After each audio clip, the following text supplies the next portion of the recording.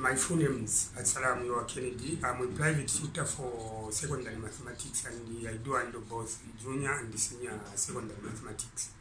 Uh, this time around, I want to document how to handle uh, inequalities which leads to linear programming. Inequalities is all about uh, equations and mostly when an equation is replaced by one of the inequalities then it becomes an inequality. And again this topic is involving it requires one to have a clear understanding on the Cartesian plane in short the graphs. And again uh, the same inequalities you need to know that an examiner will instruct you to shade uh, one region. It can be the wanted region or the one the it can be the wanted region or unwanted uh, region. So within a very short period of time, I'm going to handle uh, the case in Zambia, syllabus D mathematics.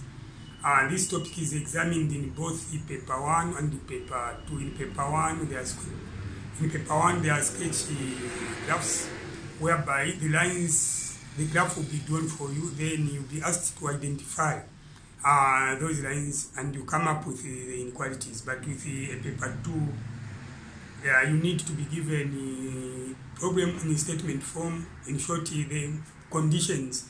Then from the conditions, you are going to come up with uh, the inequalities. And uh, after coming up with the inequalities, then those inequalities will be plotted on the graph. In paper 2, it is 12 marks, and in paper 1 is uh, 5 marks.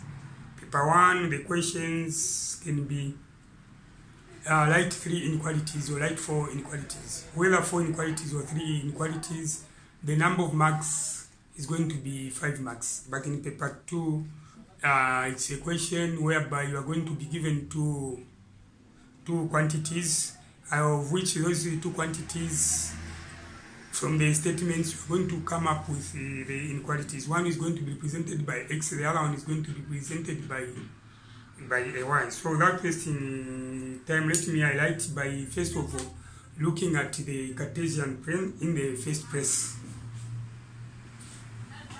So what it is, I'm saying I start by looking, starting with the Cartesian plane in the first place because the Cartesian plane is part of what we are going to be uh, doing. But I see it to be fit uh, to start first of all to explain what the inequalities uh, mean. So inequalities.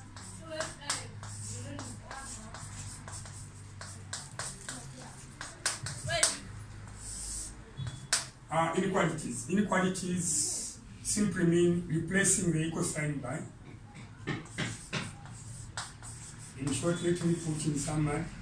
Uh, replacing uh, this equal sign by this is less than this is greater than, this is less than or equal to, and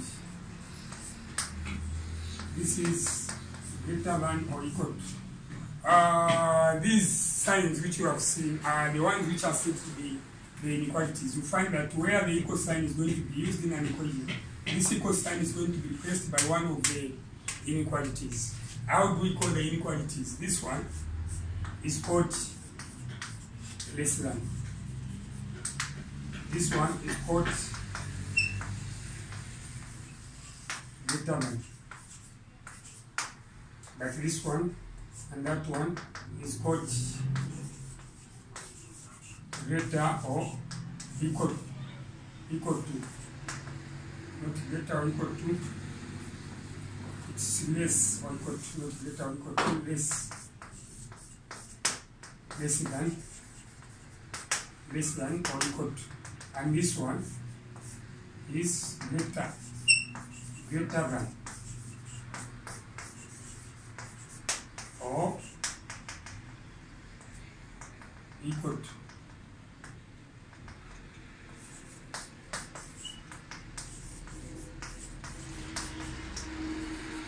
Than or equal to. I'm sure that is uh, understood. And you need to understand that for the statements to be true for the statements to be true, uh, what it is, if this is big, a bigger number, this is a smaller number, big and small. Let me do that. It always opens where there is a bigger number. And at times you may find that small is going to be here, smaller number, then a box there, then here we have a bigger number. It means a small and big. So that way this is going to be, this is less than, and this is greater than. And that way the statement is going to be to be true. You need to understand the, to understand that. For instance, if I have a three, a box there, then I have a five. So this one is going to be like that. It is three is less than. Three is less than five. But if I change, I write this, then a box there, and then a three. I'm going to say five is greater. Five is greater than, five is greater than three. So meaning that it open, it opens like that. So it is very important to for the learner out there to understand uh, these uh, signs. These signs are the ones which are said to be the inequalities. And these inequalities, at some point in this topic which I'm teaching, are going to replace what the, the equal sign. And once the equal sign is replaced, then it means we are doing uh, the inequalities. And when it comes to the graph, uh, you replace the equal sign by the inequalities, then shading is going to be moved in, depending on how the examiner instructs. If the examiner instructs to shade the wanted region, you are going to shade the wanted region. But if he instructs to shade the unwanted region, you are going to shade the unwanted region. I'm going to explain to explain that. Then uh, apart from that, the next thing which we need to look at is what the Cartesian plane. Cartesian plane, this is given by, this is y-axis and this is the x-axis. So the way it is, the, the x-axis is y is equals to 0. X-axis is the line which is y is equals to 0.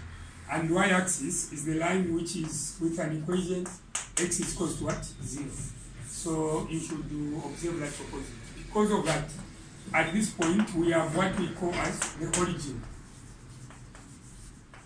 Where the x-axis and y-axis meet, this is what the origin and this is given by the coordinate 0, comma 0, comma 0 because x is 0 and y is what? Is 0. And on the Cartesian plane, we only have one point which can be named uh, the origin. And the, the coordinates of the origin can be 0, comma 0. Most learners out there, uh, you look at mathematics to be a difficult subject. Mathematics is not difficult but simple and straightforward. One that if you can be able to understand uh, the concepts and some disciplines, then you prove that mathematics is not going to be uh, difficult and not, not at all. So without wasting time, so this is the Cartesian uh, plane. So for this Cartesian plane, I'm going to draw another one there, indicating the y-axis and the x-axis. If I just draw the two lines meeting like that, then there is no graph there. So x and what? Y-axis. This is x-axis and y-axis. I'm sure uh, that can be that can be seen. I need to be fair to draw to draw the diagrams where the viewers out there can be able uh, to see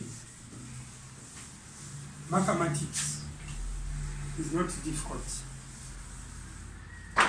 So I've cleared some space. Let me move somewhere there. We are looking at the inequalities we know. Let's look at this. I draw another. This is this is zero where they meet, but this is y-axis and this is x-axis. So now this time around, I said uh, in the first place I said the x-axis means y is equal to zero. This is an equation for the x-axis, and the equation for the y-axis is x is equal to, to 0. I'm sure that is, that is understood. This is what I have explained there. Now, this time around, I am going to draw a line passing there, another line passing there. The lines are parallel to the y-axis. So these lines which are parallel to the y-axis are going to get a picture of that x equals to 0, x equals to c. C means the number where this straight line which is parallel to the y-axis is touching the x-axis. So this one, which is the y-axis, is seen to be touching the x-axis at 0. That's why it is x is equals to, to 0. But this one, if I say this is a 3, if I say this is 3 and this is negative 1, negative 1 at this point, negative 1 and 3.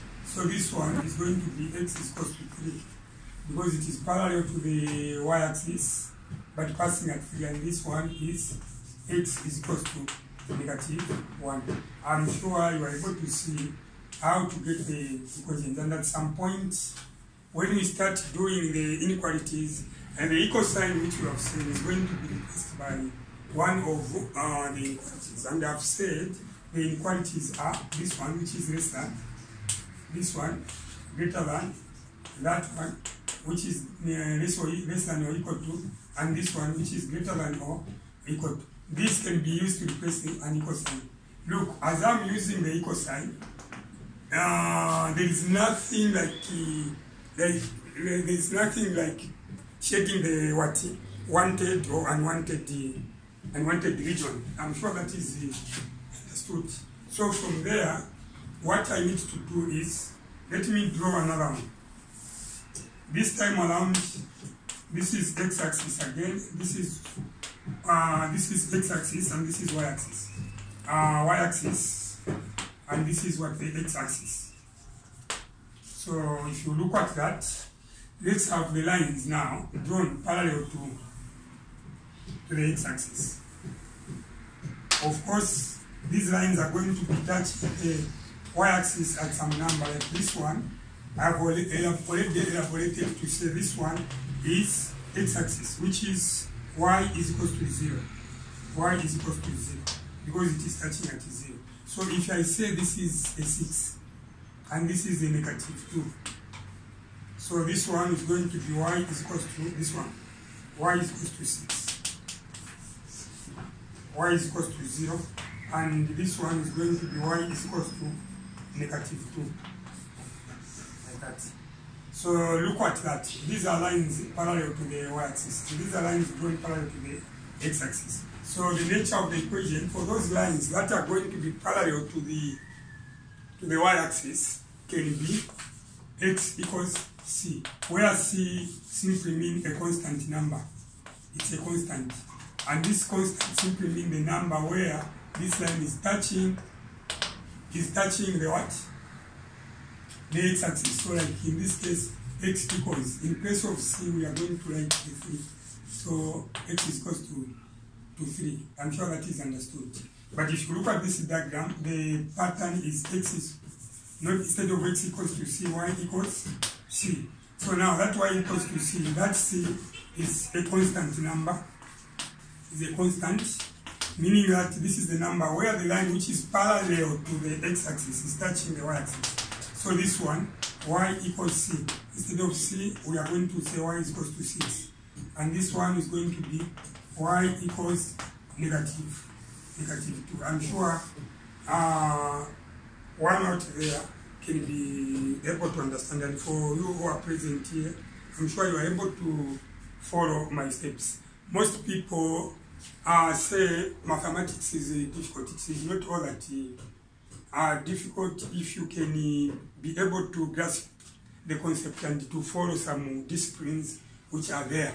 So without wasting time, let's make the combination of the lines.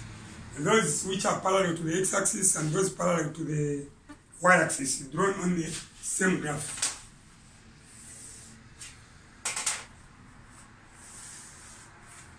I maintain that this is x-axis and this is y-axis. And when you are doing graphs, either sketch graphs or any type of graph, you need to to show the x and the y-axis. By not showing x and y, these are just going to be the mere lines crossing, uh, meeting at that point. There is no graph there, but if you show that this is the y-axis and this is the x-axis, then this is going to become a Cartesian plane or x or y plane, and the graph starts like, that. And where the two meet, x-axis and y-axis is said to be the origin. From the beginning, I said this is y is equal to 0, and this is x is equal to what? x is equal to 0. Now, I said, let me make you what the combinations. Combinations, let me maintain the lines that I've used. For x there, uh, x is passing at negative 1, and it is parallel to the y-axis. And there is another line there passing at post, positive 3. This is positive 3. Then let's have some more lines, one line like that and the other one like that. We can have many more. But in my example, I've chosen to use just a, just a few. From there, what are you going to do? Let's, uh, let's, let's name the equation of that line.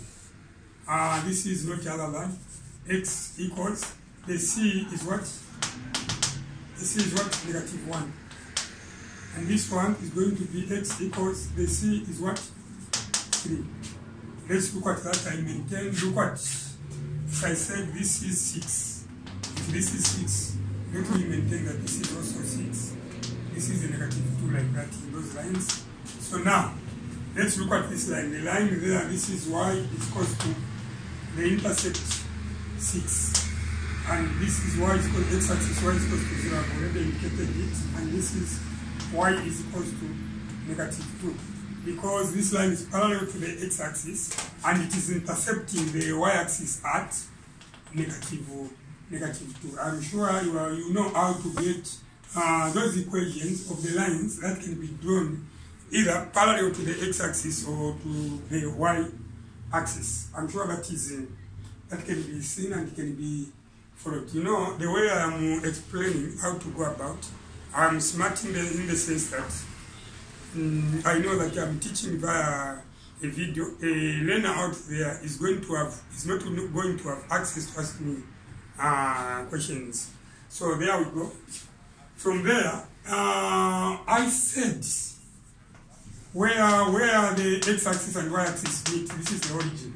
So uh, when you look at the origin, the coordinates of the origin is what uh, 0, comma 0, meaning that we are writing such a way that this is x followed by what? y, x followed by y. But is it going to be the same at this point?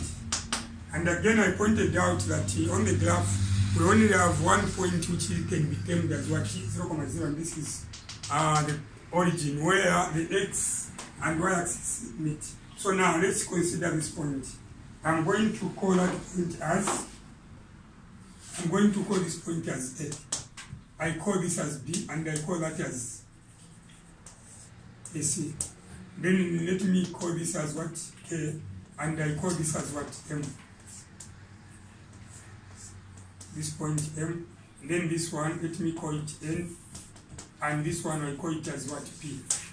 So from there, examiners are going to question you to say, state state the coordinates of state the coordinates of A, 1, 2, B, 3, uh, C. And then let me also look at the 4K. We have a K there, then followed by 5M and 6. It is the coordinate of uh, n. 7. I also include the coordinates of what? Coordinate of t. You know, uh, learning inequalities, it can be very, very important to understand how to deal with the, uh, the coordinates. Number 3 there, can't be seen. I say number one is A, number two is B, and number three, uh, that is, I'm sure that is that can be that can be seen. So if you look at that, how do we state the coordinates? Remember, uh, when we coming up with the coordinates, any coordinate any point is known by the coordinates and this is given by x comma x comma 1 so that is how we state what uh, the coordinates. Like in case of a. In case of a how are we going to state the coordinates of a? Solution how are we going to state the coordinates of a solution number one is A, number two is B, number three uh, C. So these three have one thing in common, A, B, and C. Uh, the y there is, payment is what? 6. But when you look at x for A, it is negative 1. x for B, it is 0. x for C, it is what? 3. So to state the coordinates, a. Let's start with x. What is the x coordinate for A? X coordinate for A? Negative 1. Yes, this is negative 1. And then comma, 6. comma 6 y coordinate. Then for B, 0. 0. The x coordinate is 0, comma what? 6. 6. And for C, 3. it is 3. Let me see. Yes, this is x is 3 and the 6. and 6. So if you observe very carefully, these three have one thing in what? In common. And what is common? X is always what? 6. 6. 6. And this is what? Uh, sorry, Y is always 6, not X. Y is 6. Look at this. X comma what? Y. It is Y which is 6, but the X's are, are different. It can be the same. If you look at K, K and the M. So let's look at A, and M. I haven't uh, shunned answering these. uh, finding the coordinates for these other letters, but I want you to to capture uh, the trick which is uh, behind to uh, behind identifying what the coordinates. So let's look at A.